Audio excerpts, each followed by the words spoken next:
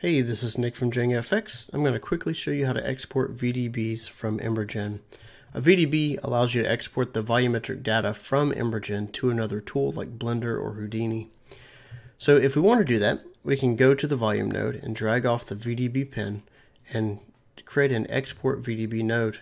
We want to go ahead and select our file path and create a uh, VDB name. So we'll say tornado. And then what we can do is we could export now, but before we do that, we want to make sure that we set up our controls and stuff.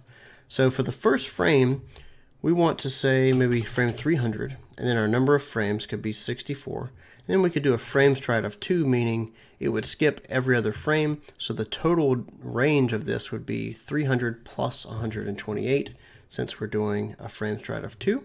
And so, but our output will be 64 frames long. We can then go to our controls, and in this case, we want to export density, which is our smoke. We could export temperature if we wanted to. We wouldn't export fuel because there's no fuel here. Flames would export your flames. Uh, we might want to export velocity just in case we wanted to do something like motion blur. And then I typically don't change anything with your coordinate system or length unit. Uh, and then your threshold, I typically wouldn't change that either as that prevents like a slight haze in your VDBs. And so the main thing is just making sure that you select the channels that you want. And you go ahead and click export and that's it.